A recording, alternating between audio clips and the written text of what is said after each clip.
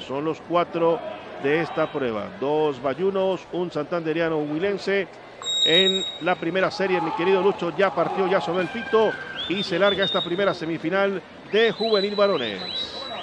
¿Cómo no? Ahí está saliendo precisamente ese Nicolás Barrios Herreño, el que está saliendo para la primera posición. Luego está Santiago Londoño y John Eduardo Tascón. Queda flotando allí en la última posición el chico del Correcaminos de Neiva, Santiago Londoño. Eh, sale ahora, se viene bien. Cardona también, metidito allí. A ver qué se viene Barrio del Pro Deportivo Skate. Lo voy a tener aquí en línea de meta. A ver quién me revienta para la primera posición con todo.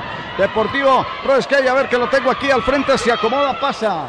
Dorsal número, número 11, me parece que era el que pasaba Nicolás Barrios para la primera posición y John Edward Tanscon. Eso. Del Skate, ¿no? Sí, señora, sí, en ese orden. Primero Nicolás Barrios, que dominó toda la prueba, y el segundo fue John Edward Tascón, que se metió en la parte alta de, dirían... Está allí para meterse. Entonces ya están Nicolás Barrios y John Edward Tascón. Posición de panto, tanque de oxígeno a tope, abierta la pista.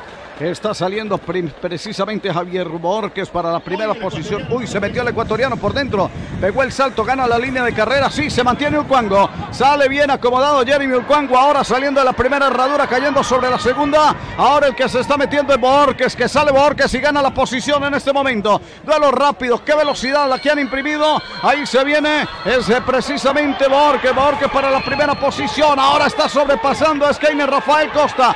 Está quedando para Borges. Borges se viene con todo. Aquí está Javier Borges y el segundo lugar para Rafael Costa. Está pasando el 333 Borges, Ángel Javier Borges y el 150 Keiner Rafael Costa. Skate Elite